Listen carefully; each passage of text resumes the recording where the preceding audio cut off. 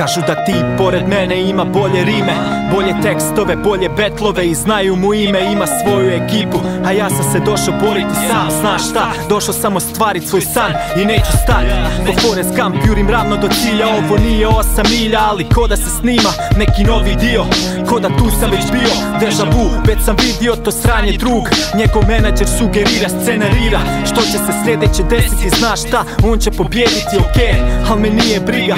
Došao sam vodit svoju igru, sam ju igram. Dakle moja igra, posljednji ran armi Za ovo spreman sam pasti, zato pazi. Na čiju stranu sada ćeš stati? Neki zovu to battle, ali ja zovem to način Na koji pokušavam onog dječaka da vratim onog starog. Ja se ne poznajem više, da me osjećaj vara ili publika ruku diže? Doseljeni kroka majk, zato prvi put si vidio.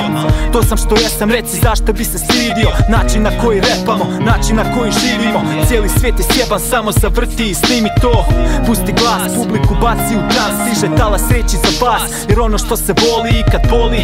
Ne, ne napušta se nikad. Evo srednjak uzrak svima možete ga slikat. Nju sam volio za uvijek Ostaće broj jedan. Sada kažem tu pred svima Neću prestat voljeti nikad.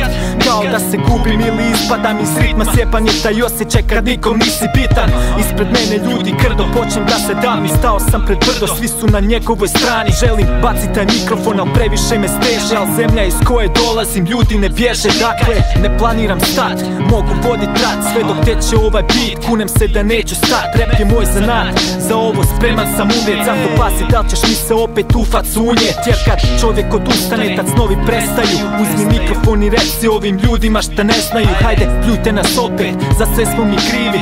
Reperi umiru al rap ostaje da živi. Vi svoje ratove vodite mecima A mi smo kulturni pa ih rešavamo recima